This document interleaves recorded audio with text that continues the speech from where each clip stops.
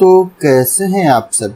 उम्मीद करते हैं आप सभी लोग अच्छे होंगे फ्रेंड्स मैं राहुल चौहान, एक बार फिर से बहुत बहुत स्वागत हूँ आपका अपने YouTube channel R S technical guru में. आज की वीडियो का टॉपिक फ्रेंड्स आपने थंबनेल में देख ही लिया होगा. तो हम आपको बता देते हैं कि सिविल स्कोर क्या होता है फ्रेंड्स सिविल स्कोर जो है फ्रेंड्स वो आप अगर किसी बैंक से फाइनेंस करवाते हैं और उस फाइनेंस को आप किस तरह से अदायगी उसकी करते हैं, कितने समय में उसको देते हैं, यानी कि कहने का तात्पर्य ये है कि आपके बैंक के साथ रिलेशन कैसे रहे हैं, ये सिविल स्कोर बताता है। सिविल स्कोर अगर अच्छा होता है तो आपका जो है बैंक से रिलेशनशिप अच्छे माने जाते हैं।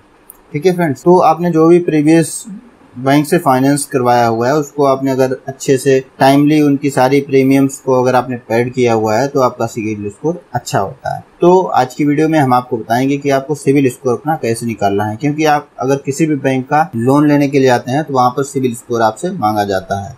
और सी में भी काफ़ी लोन से रिलेटेड सर्विसेज़ चल रही हैं सी में बैंकिंग का काम भी आ चुका है।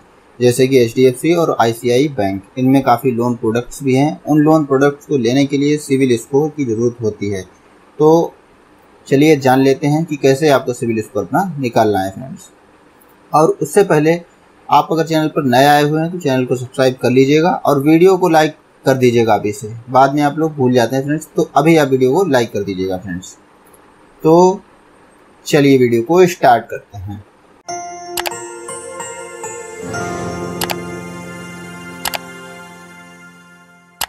वीडियो शुरू करने के लिए फ्रेंड्स, मैंने यहाँ पर सी डिजिटल सेवा पोर्टल को लॉगिन करके रखा हुआ है।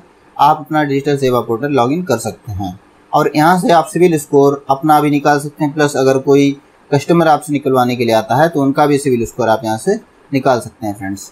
क्या करना है फ्रेंड्स, होम पेज पर अभी ये न्यू रिसेंटली सर्विस आई हुई है। यहाँ पर आपको ऑप्शन मिल जाता है सिविल, ठीक है? इसको आपको न्यू टैब में ओपन कर लेना है।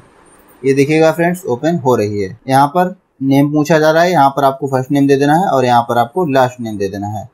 यहाँ पर आपको अपनी डीओबी दे देना है, ठीक है? फिर यहाँ पर आपको अपना जेंडर दे देना है। यहाँ मेल आईडी और mobile number PAN number Aadhaar number ठीक है? और यहाँ पर एड्रेस आपको दे देना है अपना परमानेंट वाला, ये स्टेट चूज़ कर लेना है, फिर अपना पिन कोड दे दीजिएगा। ऑथेंटिकेशन टाइप अगर आपके आधार में मोबाइल नंबर रजिस्टर्ड है तो आप उसको ओटीपी के द्वारा वेरीफाई कर सकते हैं अदरवाइज़ चाहें तो आप फिंगरप्रिंट से वेरीफाई कर सकते हैं। आईरिस अवेलेबल है तो आप आईरिस से भी वेरिफिकेशन कर सकते हैं अथेंटिकेट कर सकते हैं, ठीक है? यहाँ से अथेंटिकेशन करने के बाद में आपको डिक्लेरेशन पर क्लिक कर देना है और प्रोसीड पर आप जैसे ही आप क्लिक करेंगे तो नेक्स्ट स्टेप में लास्ट फाइव ट्रांजेक्शन ये आपके सामने शो हो जाएँगे। आपके पैन कार्ड से जो भी ट्रांजेक्शन हुए हैं, वो ऑटोमेटिकली यहाँ पर शो हो जाएँगे फ्रेंड्स और उसके बाद में आपकी जो सिविल स्कोर की रिपोर्ट है, वो जनरेट हो जाएगी। उसको आप प्रिंट कर सकते हैं इजीली फ्रेंड्स तो इतनी सी इन्फॉर्मेशन थी आज की वीडियो में फ्रेंड्स फिर मिलते हैं नई वीडियो के साथ. तब तक के लिए अपना ख्याल रखिए. जय हिंद. वंदे मातरम.